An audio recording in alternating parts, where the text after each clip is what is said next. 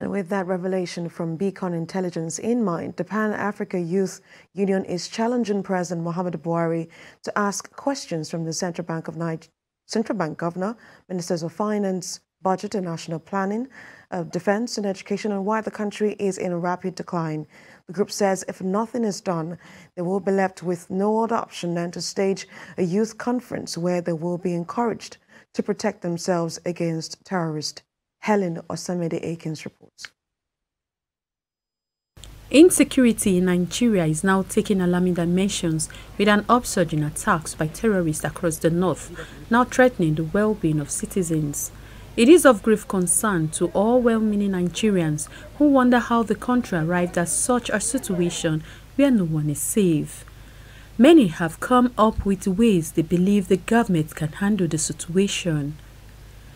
Pan-African Youth Union is suggesting that the federal government summons those at the helm of affairs of the nation's security, finance and education sector to respond to Nigerians on the reason for the nation's steady decline. To have resigned by now, you cannot be a CBN governor for over six, seven years and dollar continue to increase from less than 200 to now becoming over 700 and even if the president is unaware you who is managing the affair should know that this thing has gone beyond my capacity and honorably resign they give government seven days to some of these ministers or have the union call for a nationwide youth conference where the youth will be informed on the needs to defend themselves and their territories from terrorist attacks. Because we do not have the power as youth leaders to sack them.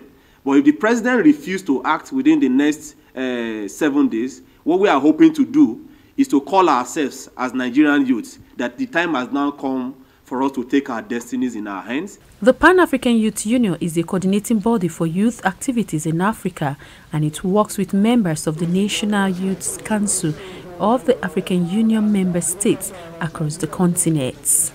They also challenge politicians who are already conversing for support and votes for the next general elections to work with the present government to secure the country from obscurity, insecurity and bad economy. Helen Osamede Akins, TVC News, Abuja.